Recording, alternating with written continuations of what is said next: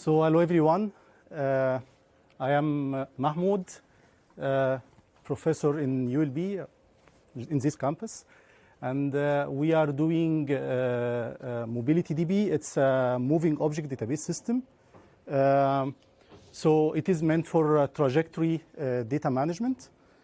Um, already in the talk of Visarion, uh, we got an idea what's a trajectory.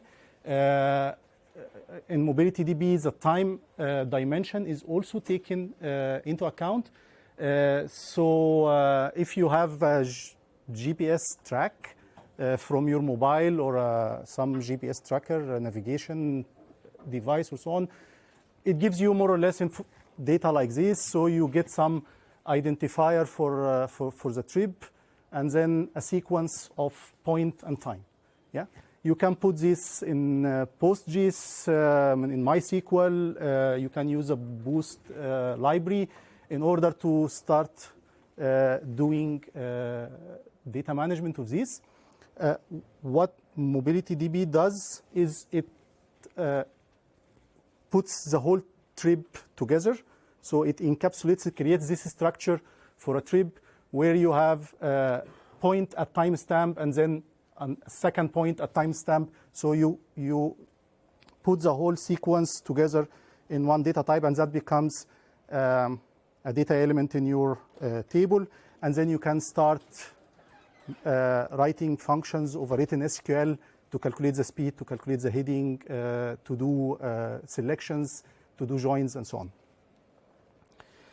Uh, so generally speaking, uh, this is a, general architecture.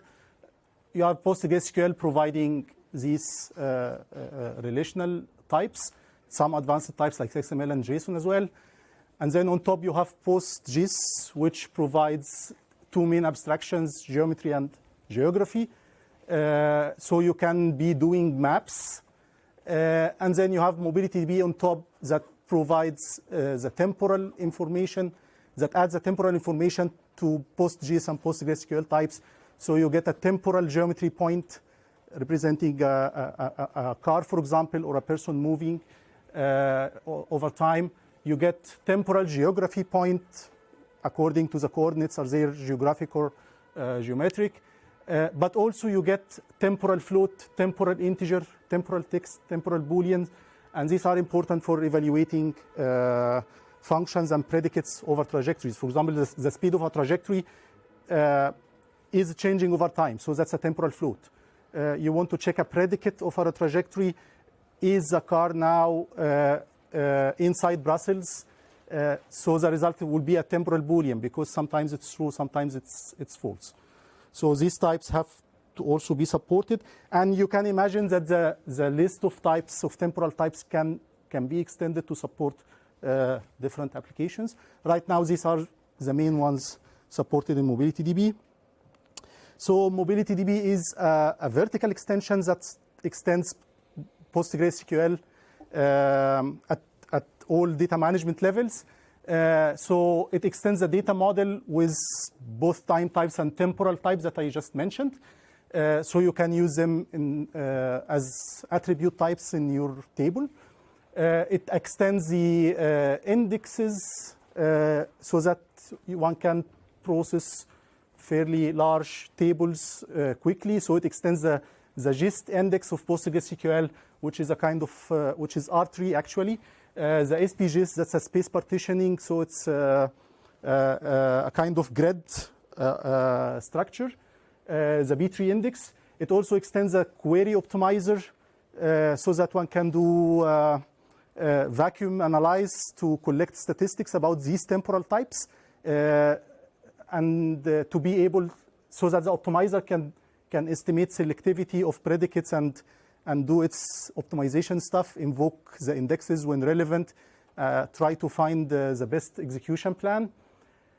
And then a big set of operations. Uh, for example, uh, you, can, you can always project, remove the time dimension, project to a line string, uh, and then do all kinds of uh, processing on a line string.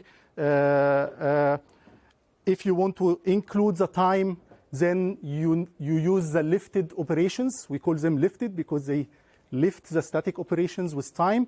Uh, so you can do uh, arithmetic on temporal numbers, uh, can do binary operations on temporal booleans, can do distance and uh, uh, topology operations on temporal points, uh, and so on. Uh, this is all uh, built as an extension, not a fork, uh, to PostgreSQL. And because it's an extension, it's by default should be, we hope, compatible with uh, other PostgreSQL, uh, other tools in the, in the ecosystem of PostgreSQL. Uh, we have tested with some, uh, and uh, uh, we wish to test with more. Um, for example, um, integrating with pgRouting for calculating shortest distance. Uh, so that to support to support network points, uh, you know, you can represent the coordinates either absolute as latitude and longitude, or as map matched, like a, uh, an identifier to a certain road in a road network, and the fraction uh, of uh, uh, of distance that is traveled. To get more context, Pipeline DB provides some stream processing over PostgreSQL.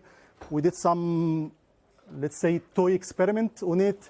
Uh, we do support uh, good integration with Citus. Uh, Citus is for scalability so that you can run a PostgreSQL database on a cluster and your queries get distributed. so combining both MobilityDB and Citus, one can do um, query, query big data sizes. So my colleague uh, there is responsible for this part. Um, for, for a quick start uh, using MobilityDB, there is a Docker image, yeah, and so on. So uh, how does it look like loading the data? The most common format is comma separated. You can always transfer whatever uh, uh, tracking format to some comma separated. Uh, so most important, create extension MobilityDB uh, cascade. That's how to start supporting uh, these spatiotemporal operations in your PostgreSQL database. Cascade will also uh, uh create extension PostGIS if it is not there.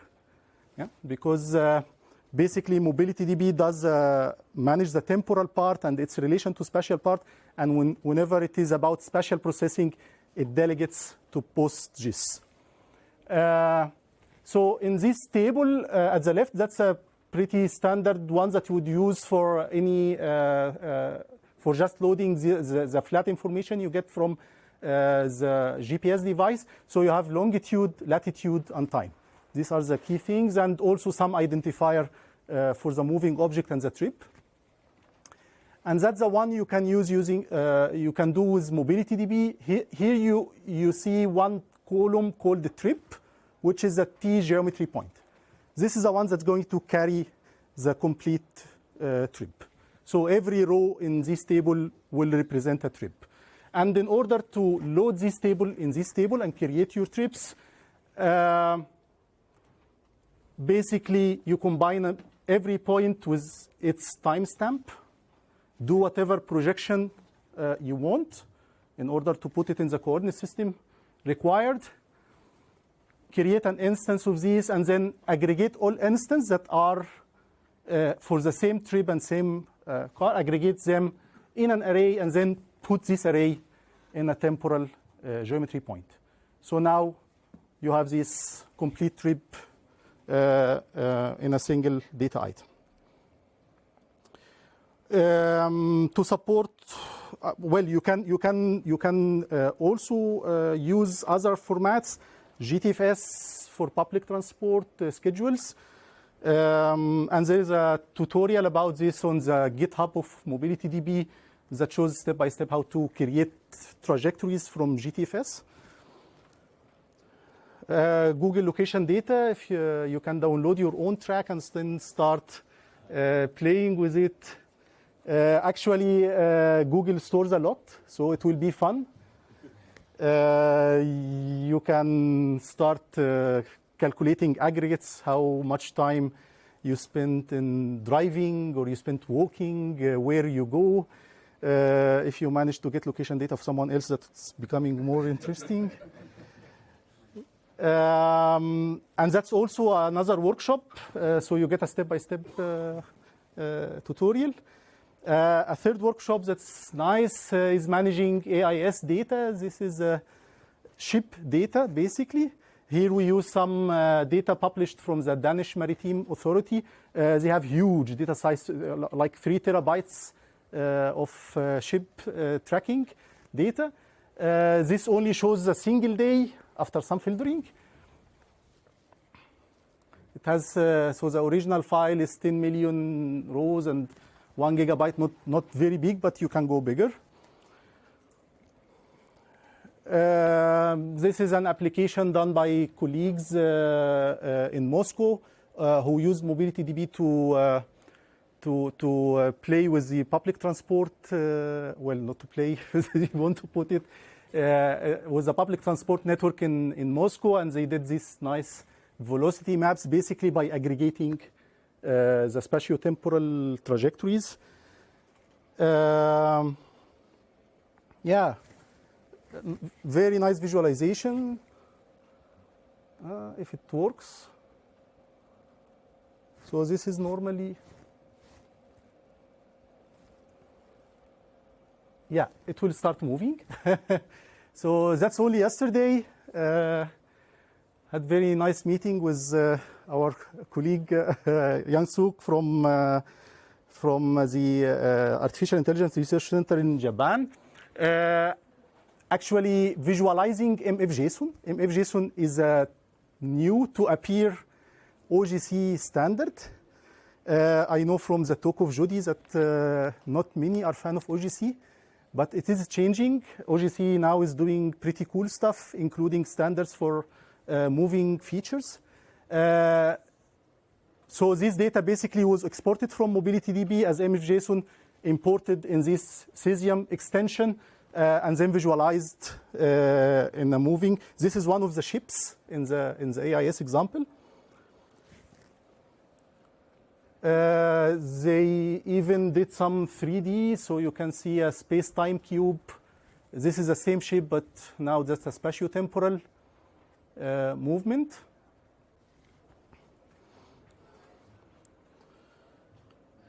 So uh, let's look more about uh, queries in MobilityDB and what kind of operations you can get there. Uh, so in this example and in the following few ones, uh, um, uh, the same ship uh, database uh, will be used. Basically, we have a table ships that has an identifier for a trip, that has a trip trajectory as a ge geometry point, temporal geometry point, uh, speed over ground. This is a typical uh, obs um, um, um, observation reported by the AIS sensors that tells you the speed of the ship. And because it changes over time, it's loaded into a temporal float. So this is coming from the source information, not calculated. Course over ground, also temporal float. And then I pre-calculate uh, the spatial trajectory, which is a line string, uh, project the same trip uh, into some uh, uh, uh, projected coordinate system, the ETRS, which fits the area of Denmark. now, if we want to list all the ships that commute between these two ports, Rødby and Puttgarden, uh, so you have two ports and you want to see which ships uh, commute around. Uh, so I express this in this SQL query. basically, the two ports are represented as two rectangles, and then we are interested in the trips that intersect the two rectangles together. So that two predicates intersects so this predicate uh, is a mobility DB1. It accepts a, uh, a trajectory, a temporal geometry point, and some uh, geometry, and it returns a Boolean. Yeah, and then in order to do this efficiently, you need an R tree. Uh, so you create uh, um, a gist index over the uh, projected trip column. So some gist index will, will, will be used be behind the execution of this predict, uh, query. And this is the result. The two ports are the red rectangles, and then these are all the ships traversing.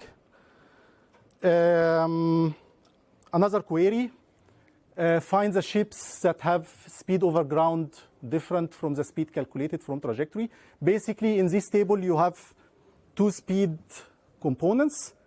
One that is coming from the sensor, SOG, and one that you can calculate from the spatiotemporal trajectory that has been constructed. Normally, they should be the same. If they are not the same, then the sensor is providing some uh, uh, wrong information. So I don't know why the query should be interesting. I thought it's interesting, so I, I try it, uh, get everything from the table ships, and then perform a minus between the two speed components. We'll convert both to kilometers per hour, and then convert a minus. And, and this minus is a temporal minus between two temporal floats, so it's going to be calculating the difference at every time instant, and producing a temporal float. And the time-weighted average uh, will uh, summarize this temporal float into a single float uh, and compares if the speed difference is greater than 10, then show me this trip. So this is what I just explained. You have two speed components. The one calculated, the blue one is the one calculated from the spatiotemporal trajectory. The orange one is the one uh, SOG. If you do a temporal minus, this is what you get. And then you summarize this using time-weighted average to get a single uh, float. I didn't put a result here, but uh, we got some trips that really showed noise. Um, this is another query for uh, an aggregation. So here it aggregates the length of the uh, of the trips in uh, per day per hour. So basically, we want to see what is the distance traveled per ships every hour. So every hour in the day, how many, uh, what is the total distance traveled by all ships as an indicator of how busy the Danish water is every hour. So uh, we create a relation of uh, 24 periods, the 24 hours, and for every period, we restrict the trajectory to this period, and then just uh, calculate the length in kilometers uh, of, of the uh, trip and do a regular sum over these, group by the period. So you get something like this. So per hour, this is the total traversed distance by all the ships. Uh, nothing interesting. More or less, it is the same all the day, but the query is interesting. Um, this is a temporal aggregate. So in the previous one, we did a sum. Here, that's a temporal sum. Uh, and it is using the operator cumulative length. Cumulative length uh, uh, at every time instant, it tells how, what is the distance that has been traversed so far from the beginning of the trip. So the result is a temporal float. And now you have multiple temporal floats per trip. Uh, so you do a, a, a, temporal sum which will sum these temporal floats at every time instant. And the result is a temporal float that looks like this. So this is a time, this is a distance, and you see that it is steep increasing, which confirms the previous query that there's no difference according to, uh, uh, to the hour or the time. This is another trip to do a join. Here uh, we want to see whether there were some danger situations in the data set where two ships very, came very close to one another. Uh, and for this uh, predicate distance within, taking two trajectories and checking whether they have ever came to 300 meters close to one another. So uh, this query is uh, joining the self-joining the ship to itself. And if so, for these uh, trajectories, show me the shortest line between the two trajectories. So the result is something uh, like this. Uh, the blue ships and the green ships, whenever a blue ship comes close to a green ship, 300 meters or less, we see this uh, red line. So the ones above are at the entrance of the port. So that's not a big deal. Ships are going slow, they are entering the port. But maybe this one is more interesting because it happens just in the middle. Two ships are coming close to one another. Maybe one would like to further look at their direction, their speed, where they're heading towards one another. So uh, uh, you can continue writing, uh, uh, adding more complexity to the SQL. This is what uh, I mentioned in the beginning. You can run this on a cluster. Just put on every node Citus, MobilityDB, PostgreSQL, and PostGIS. Uh, the data can will be sharded and replicated, and then uh, the user query. You have few management commands to shard your data and to create reference tables and so on. And then everything else is transparent. You just write the query, it gets distributed. Uh, and we saw that uh, on four machines, we gain like the queries become 20 times faster. So uh, to, uh, to end, MobilityDB is a moving object database system. It, uh, it's an extension of PostgreSQL and PostGIS. It's developed by uh, uh, the team uh, in ULB. Uh, it's open source. It's available on GitHub, uh, and it's compliant with the OGC standard for moving features, the new development that is happening over there. So, yeah, it doesn't show the last Okay. slide. Thank, Thank you you. very much. We have one minute for one question, and even a short one at that. Please. Could you speak up a little? Could it be used for air traffic management? So basically, as I understand, you have two-dimensional elements via PostGIS. Would it be, or is it already uh, able for MobilityDB to find the distances between flying airplanes, but you need to add the height to it? Uh, yes and no. Uh, it builds on top of uh, the PostGIS point, which can be three-dimensional. But I know that the distance functions in PostGIS are not very accurate when they come to third dimension. So the distance is done by PostGIS basically. MobilityDB will manage the time. Okay. Thank you very much again. Thank you.